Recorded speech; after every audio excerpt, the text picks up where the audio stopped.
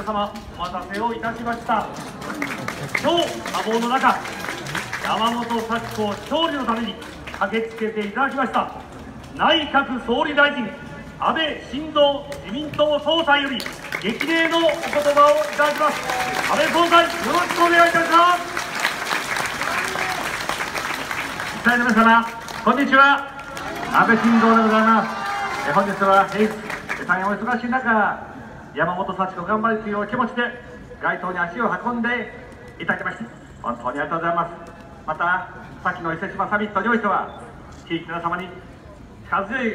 ご協力を賜りました。おかげさまで成功に終えることができました。合わせまして皆様に厚く御礼を申し上げます。ありがとうございました。先般の伊勢志摩サミットでは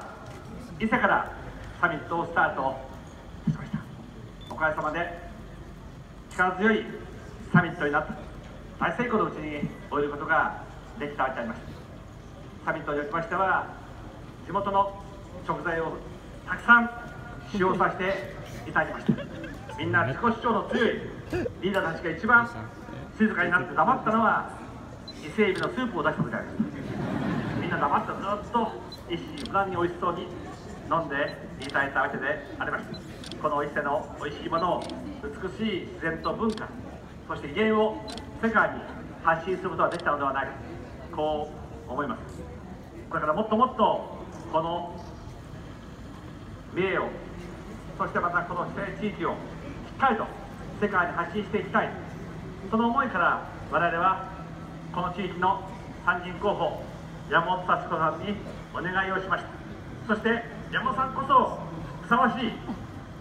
県知事の営業さんもそう判断し今一生懸命応援をしてくれています。山本幸子さんは観光の専門家でもあります。観光を活用して地域を起こしていく。そして地域を発展させていく